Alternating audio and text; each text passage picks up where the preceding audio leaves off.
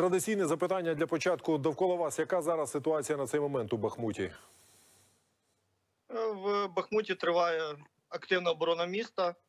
Е, В самому Бахмуті дуже важко, тому що залишки будівель, які залишилися в тій зоні, які контролюють Збройні Сили України, постійно піддаються перманентному артилерійському вогню, тому дуже важко. На околицях ситуація працює в наш бік, зокрема на наших позиціях, на південних околицях. Ми за останні дні більш ніж на кілометр просунулися, а загалом за тих два місяці вже здається кілометр на два з половиною відвоювали української території. Це позитивно, бо ми виходимо на висоти. Так само ми знаємо, що наші побратими відбили висоти в районі, в районі Хромового, тобто дорога е, відкрита і в бік Константинівки, і в бік Часового Яру, Е, постачання гарнізону, доставка їжі, е, вивезення поранених. Це все працює, тому е, там про будь-які оточення вже і не, не доводиться говорити, але противник продовжує ці атаки в відчаї в самому місті. Очевидно, що має якусь таку такий пункт, якщо їм потрібні руїни Бахмута. Хоча в будь-якому випадку е, для них е, це буде пасткою, тому що пануючи висоти з нашого боку, і якщо навіть їм вдасться дійти, то вже вийти точно не вдасться. А на вашу думку, завдяки чому впродовж останніх днів змінилася оця ситуація, і ми змогли просунутися на околицях Бахмута?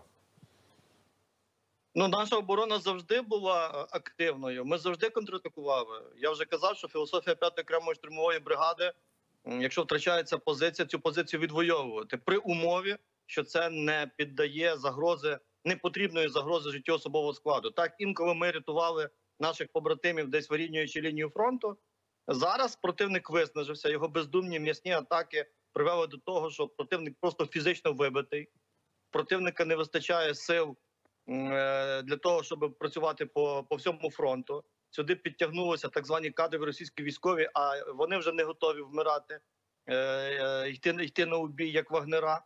І, відповідно в цій війні характерів наш характер виявився міцнішим. Противник, те все, що ми відбили цими днями, противник, що теж е, має подібну до нас філософію, теж кожного разу намагається повернути втрачені позиції, але йому цього не вдається.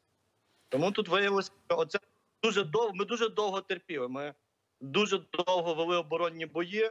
І зараз, коли противник знесилився, ми вже починаємо наступати. І звичайно, настрій набагато поліпшується, коли ти розумієш, що кожен день ти просовуєшся вперед. Тобто, це ну я так підозрюю, що це безпосередньо впливає на бойовий настрій е, українських військових. Але як саме це впливає? Тобто е, моральний дух піднімається, чи він і так був на високому рівні? Е, тут адреналін завжди на високому рівні. Дуже багато адреналіну е, у зв'язку з тими постійними з постійними екшеном. Але зараз е, це позитивний адреналін, бо ми наступаємо. Ми розуміємо, що ми б'ємо противника. Це не так легко. Противник щоразу вдається до контр...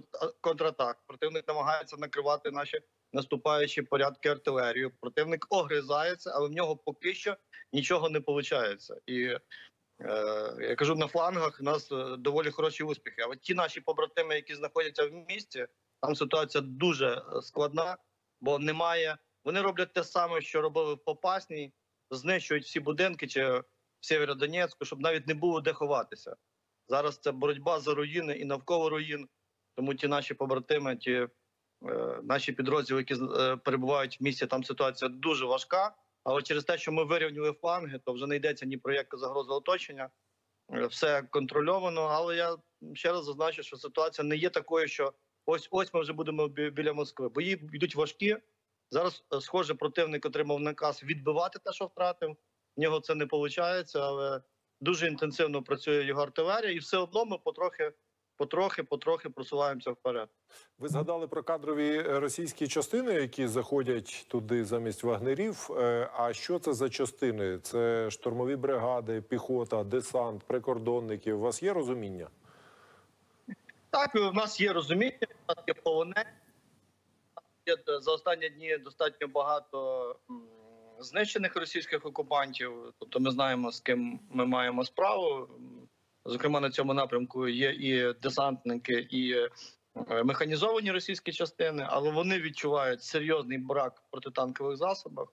Тобто, нарешті вони відчули те, що відчували ду- дуже довго ми: снарядний голод, відсутність особового складу. Зрозуміло, що ті люди, які мобілізовані насильно на війну в, в Україну з боку російської армії, настрій в них вже не той.